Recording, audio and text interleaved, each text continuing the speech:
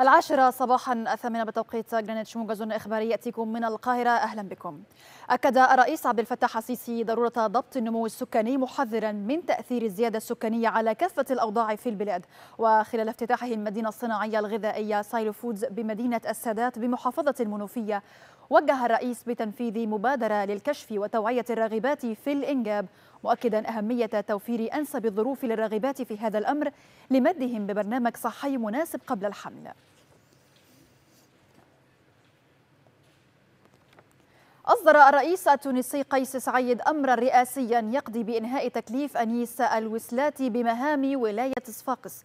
كما أصدر الرئيس التونسي أمرا رئاسيا يقضي بإنهاء تكليف نجم الدين الأكحل بمهام سفير فوق العادة ومفوض للجمهورية التونسية بواشنطن.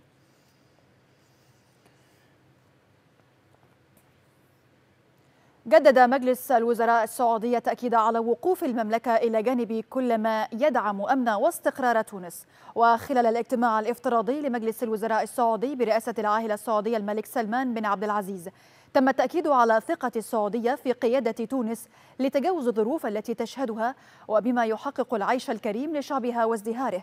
ودعوة المجتمع الدولي إلى الوقوف بجانب تونس لمواجهة تحدياتها الصحية والاقتصادية. يحيي اللبنانيون اليوم الذكرى السنوية الأولى لانفجار مرفأ بيروت الذي وقع في الرابع من أغسطس عام 2020 وأسفر الانفجار الذي حدث نتيجة اشتعال شحنة كبيرة من مادة نترات الأمونيوم عن مقتل أكثر من 200 شخص وإصابة المئات. كما تسبب في دمار ضخم في المرفأ وأحياء في محيطه. هذا وطالت أضراره معظم المدينة وضواحيها.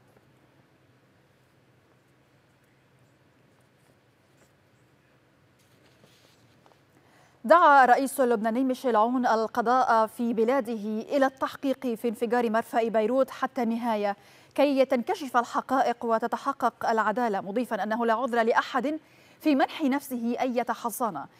كي لا يوفر لتحقيق كل المعلومات المطلوبة لمساعدته في الوصول إلى مبتغاه. هذا وقال عون إنه سيسعى مع رئيس الحكومة المكلف نجيب ميقاتي إلى تذليل كافة العراقيل في وجه تشكيل حكومة إنقاذية وفقا لمقتضيات الدستور.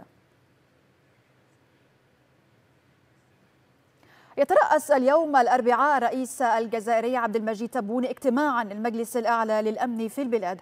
وقالت الرئاسة الجزائرية في بيان لها إن الاجتماع الدوري للمجلس الأعلى للأمن يخصص لدراسة ومتابعة الوضع الأمني العام والحالة الصحية في البلاد وكذا التحضير للاستحقاقات المحلية المقبلة.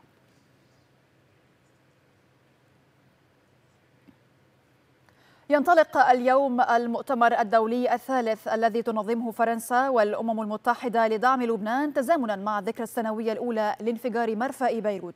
يهدف المؤتمر الذي سيعقد عبر تقنية الفيديو إلى جمع مساعدة عاجلة بقيمة 350 مليون دولار للاستجابة لحاجات السكان. ويشارك في المؤتمر الرئيس الأمريكي جو بايدن إلى جانب نحو 40 من زعماء العالم.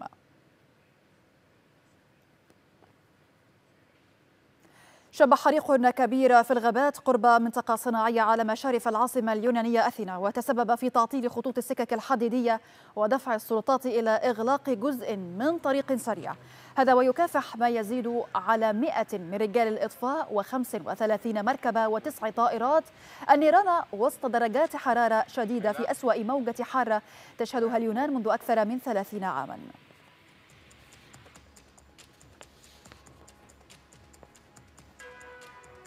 للمزيد من الأخبار يمكنكم متابعة موقعنا على الإنترنت إكسترا نيوز dot TV كما يمكنكم متابعتنا على مواقع التواصل الاجتماعي فيسبوك تويتر إنستغرام ويوتيوب